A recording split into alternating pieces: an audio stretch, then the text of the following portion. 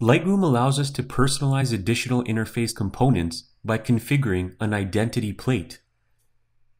To do so, click the Lightroom button and from the menu, select Identity Plate Setup. By default, we can see that the Lightroom identity plate is selected. Let's custom configure our identity plate by selecting the Personalized option. In the text box here to the left, type in My Photography Studio.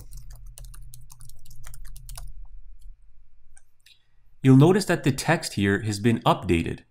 This is just one of the many ways you can personalize the Lightroom interface.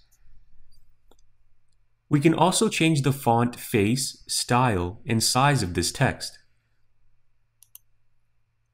Let's go ahead and choose something a little bit more interesting. Just remember to highlight the text first. And make sure you choose a font size that fits within this area over here. You can also change the color of the text.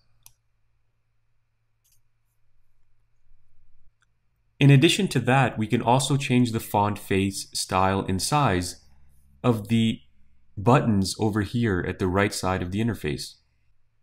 So let's go ahead and change these as well.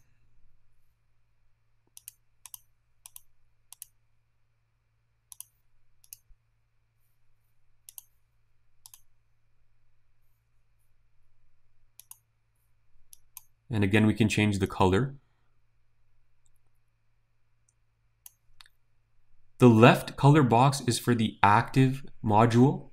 So right now, since we're in the library, that's why it's white. And the second color box is for the inactive modules. Another interesting feature is adding a customized image to our identity plate rather than text. To do so, simply select this option here and we'll need to select a file from our computer. So click the locate file button. And this is the image I'd want to use. It's just something I created in Photoshop. And you can see that instead of the text, an image is now visible here. Now to save this identity plate preset, click the select menu and then select save as. Give this preset a name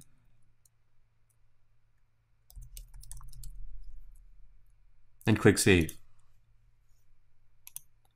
So you'll notice that this is now available in your list, and you can have many of these if you like. The identity plate settings here will be visible throughout Lightroom to brand your prints, slideshows, and some websites. You'll see firsthand as we progress through the course how the identity plate is used. So I'm going to go back to text here